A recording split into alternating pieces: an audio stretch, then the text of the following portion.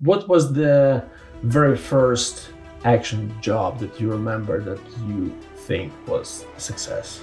The one I remember most that I, I have fond memories of is, is The Hunt for Gollum, Mhm. which was a Lord of the Rings fan film, um, which was the first of its kind, at least the level that it achieved. This fan film by uh, Chris Bouchard, who I think wrote it as well, or might have co-wrote it.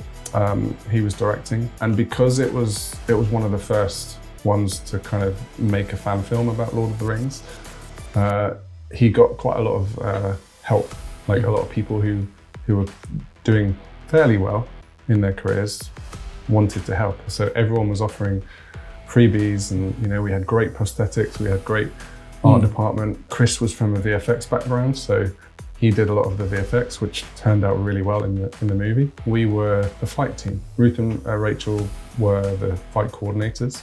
But I forget if they got the job first and brought us in. But anyway, I think we all kind of because it, it went out around the, the circles. I think we all heard about it around the same time.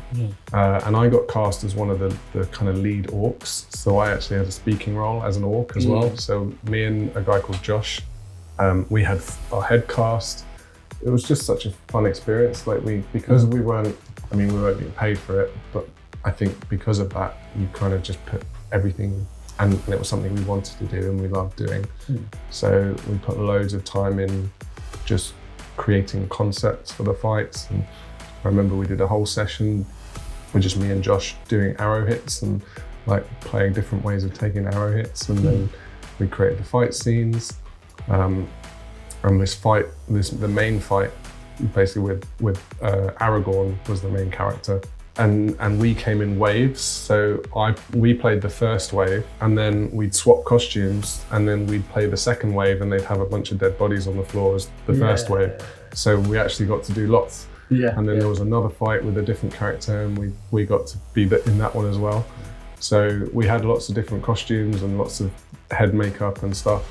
Um, but my main character, I had to have my, my head cast, so I had a full prosthetic. Um, that was really fun experience. Is it fun though? Because I've heard like when, when you have such prosthetics, like it takes so much time to actually apply them every day. Like, yeah, it did. Yeah. And but we we actually because we shot it in Epping Forest, and they got permission for us to camp out.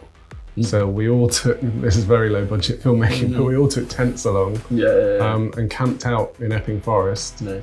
And then we'd get up at like six in the morning, and me and the, the main orcs would just sit in the in this gazebo and, and have our faces and arms painted. I think it was maybe about three hours for the whole thing. So yeah, it was an early morning, but we were camping anyway, so it's not like Yeah, you're gonna yeah, yeah. lie in. Um, but yeah, it was good. It was such a great team and such a Yeah, can you watch it somewhere? yeah, it's on online, YouTube? so they can't sell it. So Mhm. it, it's online on YouTube. Um, The Hunt for Gollum. Yeah. Uh, I think it's had like a ridiculous number of views It's in the millions, maybe even double figure millions.